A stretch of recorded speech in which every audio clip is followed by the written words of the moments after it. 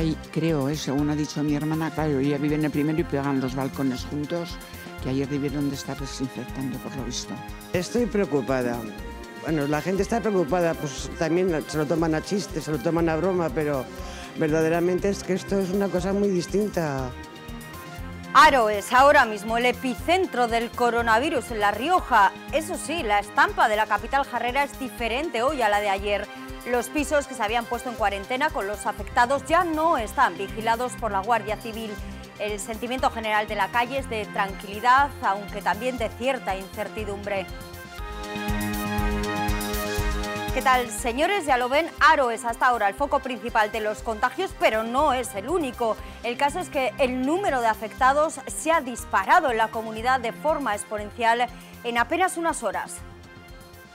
En La Rioja, 29. En principio, parece asociado a un único evento de contagio y un grupo limitado. Ya lo han escuchado, con el jarrero ingresado en Miranda y el sanitario de Chagorrichu como origen de los contagios hasta el momento, el número de casos en La Rioja se ha disparado hasta los 29, tras registrarse 12 casos nuevos desde ayer por la tarde hasta esta mañana. Más cosas en página de tribunales. Hoy ha quedado visto para sentencia el juicio contra el ex consejero de Hacienda. La defensa de uno de los imputados ha sostenido que no hay pruebas porque no se ha cometido ningún delito y por ello se ha pedido la absolución. Todo ello después de que ayer el fiscal rebajara seis meses la petición de cárcel para Muñoz y retirara el cargo por estafa.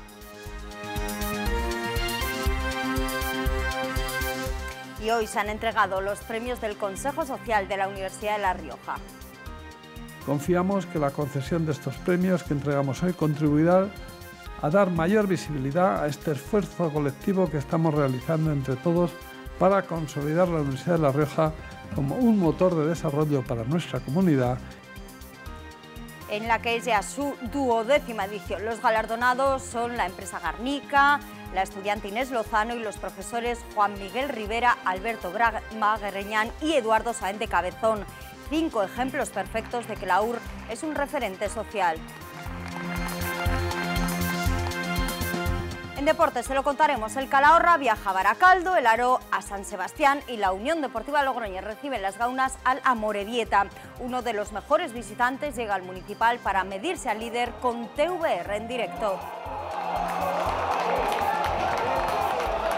No creo que vayan a venir relajados o con el tipo de equipo que está en mitad de tabla y que no tiene nada por jugarse, todo lo contrario.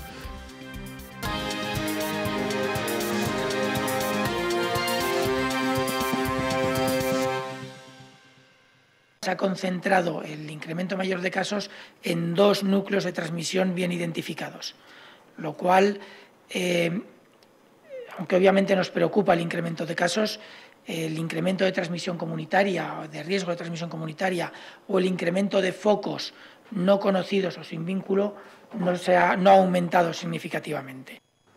El propio coordinador de alertas y emergencias sanitarias calificaba hoy la situación de La Rioja como uno de los casos extraños en cuanto a propagación se refiere. No es para menos, en las últimas horas el número de positivos por coronavirus se ha disparado en nuestra comunidad.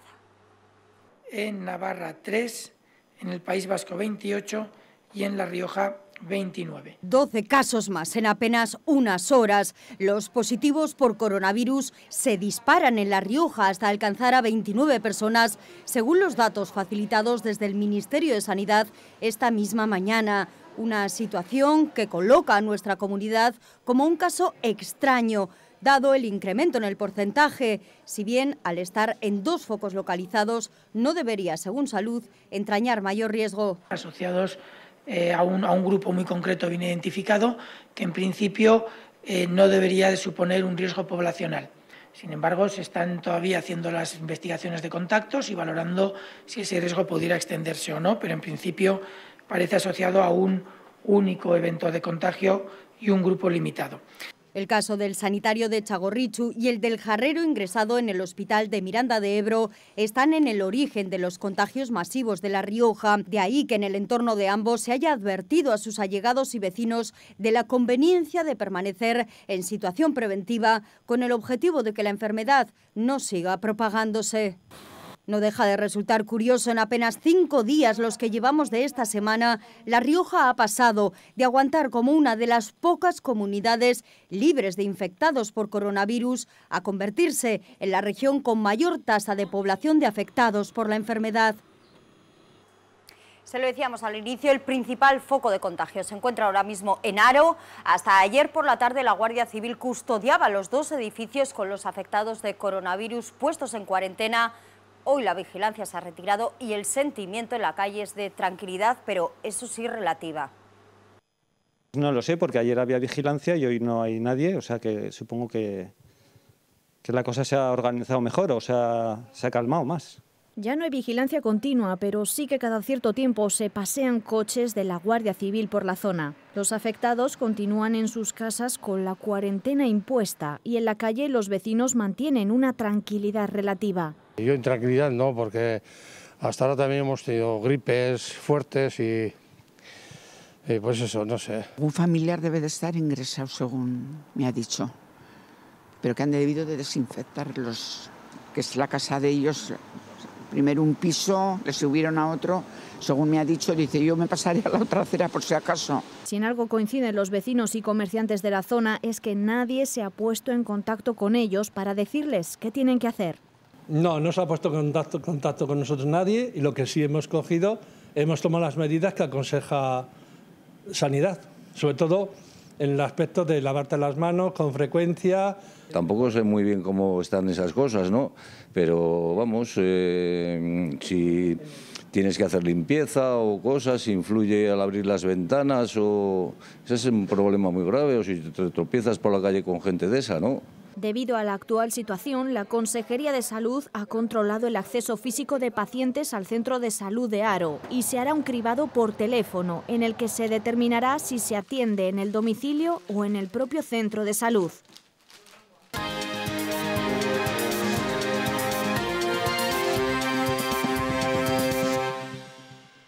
En página de tribunales, el juicio contra el ex consejero de Hacienda, el más largo de la historia de La Rioja, ha quedado visto hoy para sentencia.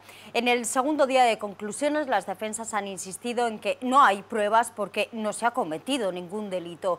Todo ello después de que el fiscal rebajara a seis meses la petición de cárcel para Muñoz y retirara el cargo por estafa. Y es entendible que no pueda aportar prueba directa, porque no se ha cometido ningún delito para esta defensa dice dos cosas. Una, que realmente confirma que no hay prueba de cargo suficiente y otra, que claro, son 12 años de instrucción como para retirar la acusación y como para pedir la solución. Es la tesis más repetida hoy en el segundo y último día de conclusiones por las defensas. El juicio más largo de la historia de La Rioja ha quedado visto para sentencia. Todo ello después de que el fiscal rebaje de cinco años y nueve meses a seis meses la petición de cárcel para el exconsejero de Hacienda y la multa de 6 millones a 276.000 euros. La acusación pública retira además el cargo por estafa para Juan José Muñoz y mantiene los de blanqueo y tráfico de influencias. Este es el típico caso en el que el presunto estafador se querella contra las presuntas víctimas al no haber conseguido engañarlas. Muñoz ha tomado por último la palabra para decir que no tenía ninguna responsabilidad en los hechos narrados en el caso en Frisa. Amaneces antes que el sol y conviertes la tierra en frutos y creas la lluvia y superas plagas y tormentas y peleas contra viento, granizo y cada día empiezas de nuevo. Eres de una naturaleza especial, por eso hay un seguro especial para ti. Agroseguro, más que un seguro.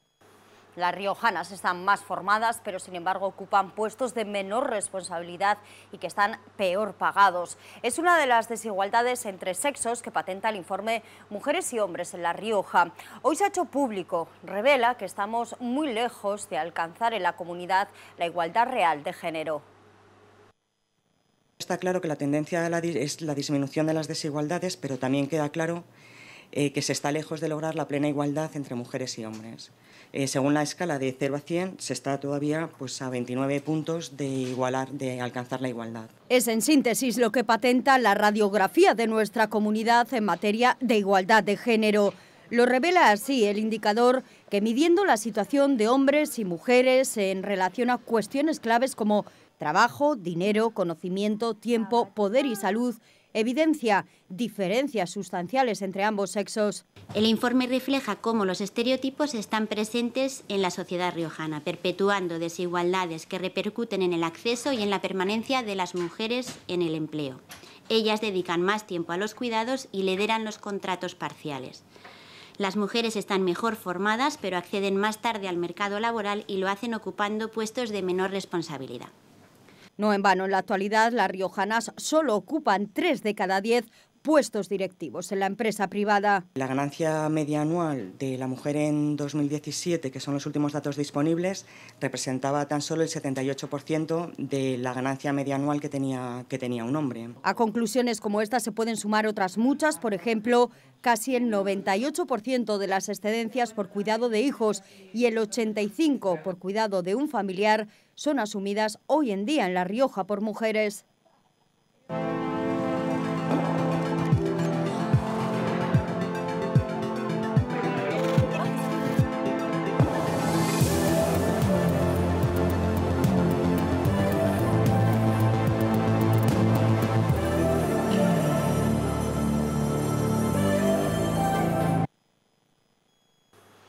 Hoy se ha celebrado el acto de entrega de los premios del Consejo Social de la Universidad de La Rioja. Estos galardones, que van ya por su duodécima edición, pretenden reconocer la labor realizada por la comunidad universitaria, pero no solo eso, también fortalecer las relaciones entre el campus y la sociedad riojana. Confiamos que la concesión de estos premios que entregamos hoy contribuirá a dar mayor visibilidad a este esfuerzo colectivo que estamos realizando entre todos para consolidar la Universidad de La Rioja como un motor de desarrollo para nuestra comunidad. Gracias a ellos, la Universidad de La Rioja es un referente. Los premios del Consejo Social de la UR han reconocido la labor realizada por la empresa Garnica, la estudiante Inés Lozano y los profesores Juan Miguel Rivera, Alberto Magreñán y Eduardo Sáenz de Cabezón. En este último caso, a la divulgación científica, una novedad en esta duodécima edición. Y me parece un motivo de alegría, lo entiendo yo, que la universidad reconozca que parte de su labor es la, divulgación científica, es la divulgación del conocimiento en la sociedad. Una alegría y un impulso para seguir adelante, como han coincidido los cinco premiados. En un mundo de ahora en el que la información está accesible en la pantalla de un teléfono, enseñar a pensar y no a acatar lo que te dicen que has de pensar es la clave del estudiante del futuro. Esa es la esencia de la Universidad de La Rioja y lo que le permitirá seguir siendo el motor de progreso que necesita nuestra comunidad.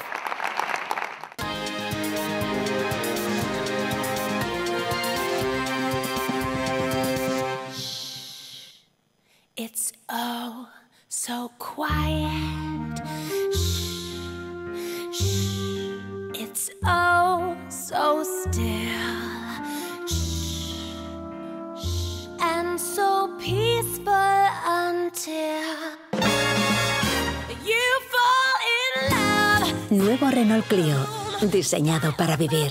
Ven a la red y pruébalo.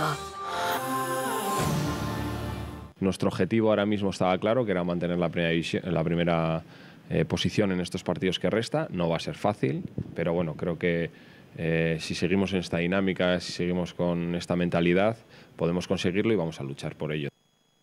Este domingo a las 5, en directo, a través de TVR, la Unión Deportiva Logroñés vuelve a jugar en casa. Los riojanos reciben a la Morevieta, ahora mismo sexto clasificado y un equipo siempre complicado de batir en las gaunas. Para este duelo, los de Sergio Rodríguez llegan con todo, no hay bajas y la motivación por firmar una gran temporada es máxima.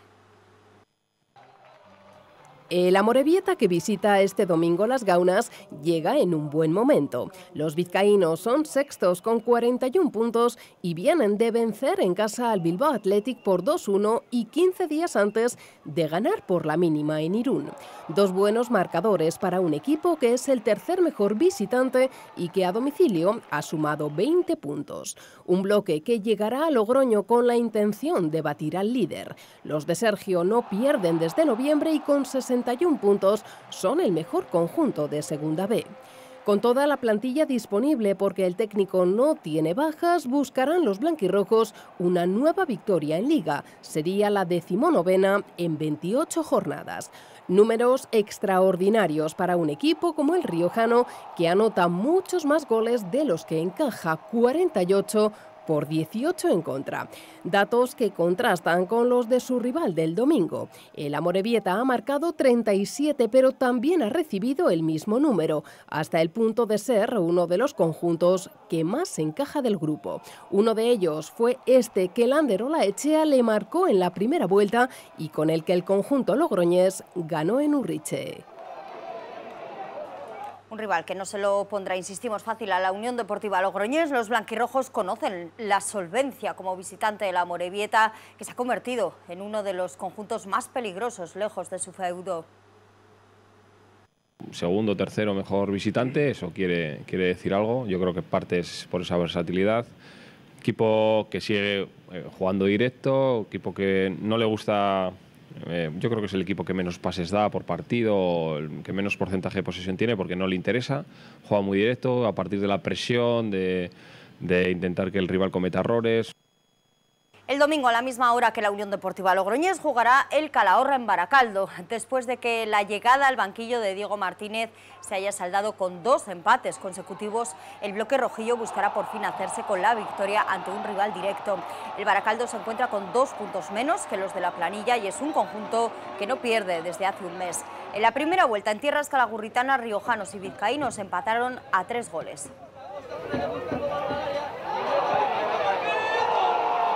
Y para completar la jornada, también el domingo a las 5 será el turno del Aro que visita Zubieta. Salida complicada la que tendrán los jarreros, ya que la Real Sociedad B se encuentra en la quinta plaza y es además un equipo que en su casa ha sumado más de la mitad de los puntos que acumula hasta el momento.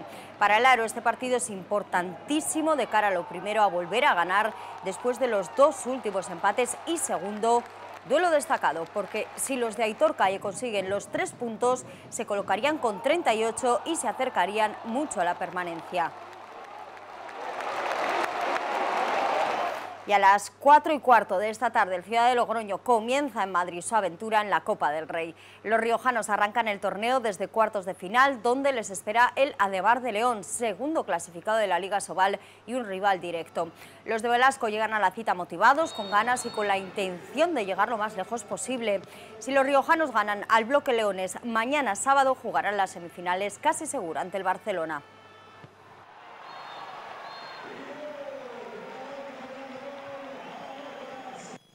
Hemos tenido el sorteo un poco ahí fastidiado, pues, vamos por el lado del Barcelona, pero, pero bueno, como nunca se sabe, pues lo que habrá que hacer es intentar competir y, y veremos a ver hasta dónde llegamos.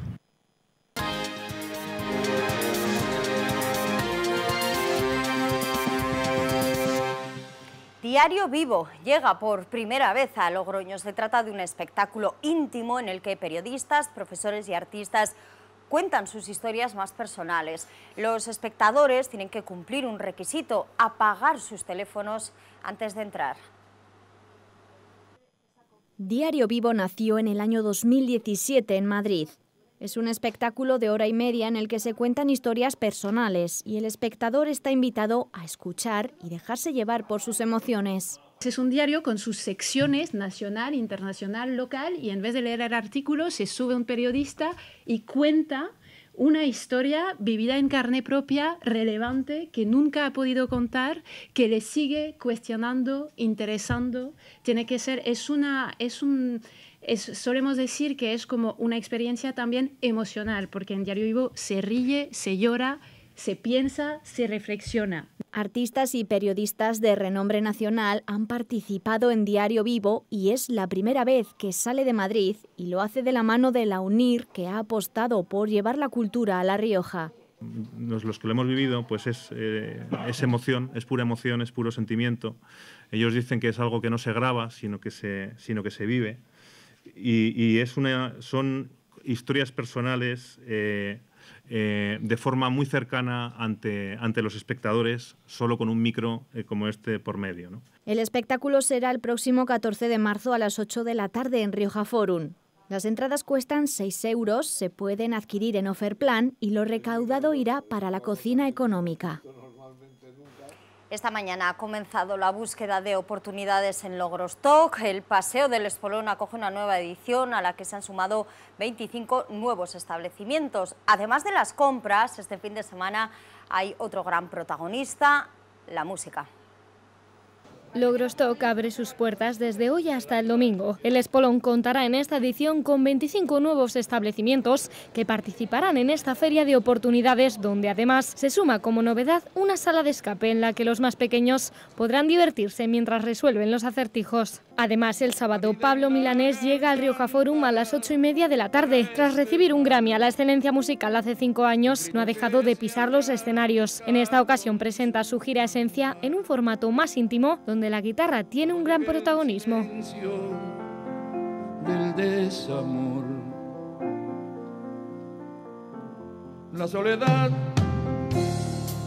a veces tiene ganas de acompañar.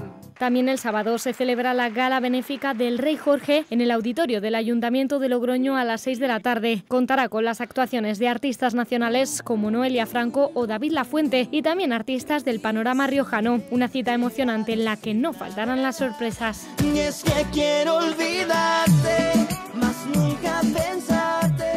Y el domingo el grupo riojano Silenciados tocará en El Dorado a la 1 y a las 5 de la tarde. La banda de rock vuelve a tocar en casa para terminar el fin de semana a ritmo de rock and roll. Prefiero no tener ni un duro y estar ciego para no ver lo que no quiero. Así nos despedimos de momento, señores. A las ocho y media actualizamos estas y otras noticias para ustedes. Buenas tardes.